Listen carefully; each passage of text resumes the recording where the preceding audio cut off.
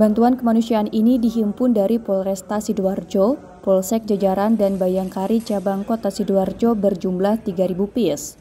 Bantuan tersebut berupa selimut, pakaian baru, pampers, pembalut wanita, dan makanan. Ribuan bantuan itu kemudian dikemas dan dimasukkan ke dalam masing-masing karton. Selanjutnya dimasukkan ke dalam truk polisi untuk dikirim ke Polda Jawa Timur. Kapolresta Sidoarjo Kombes Christian Tobing mengatakan, Pihaknya sengaja mengirim bantuan itu sebagai bentuk kepedulian terhadap sesama serta bentuk keprihatinan terhadap korban bencana banjir. Berdasarkan situasi sampai saat ini di wilayah Jawa Tengah masih dilanda banjir.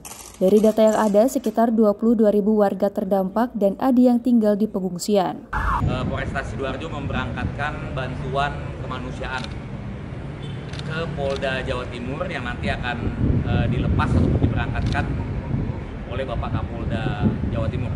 Kemudian eh, ini bantuan ini dalam rangka bantuan kemanusiaan ini kita memberikan perhatian atau bantuan ataupun rasa peduli kita kepada masyarakat di wilayah Kabupaten Kudus dan Demak atau wilayah Jawa Tengah yang saat ini dilanda banjir.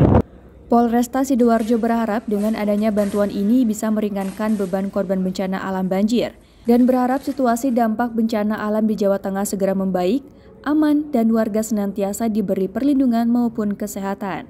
Dari Sidoarjo, Jawa Timur, Muhammad Khalid melaporkan.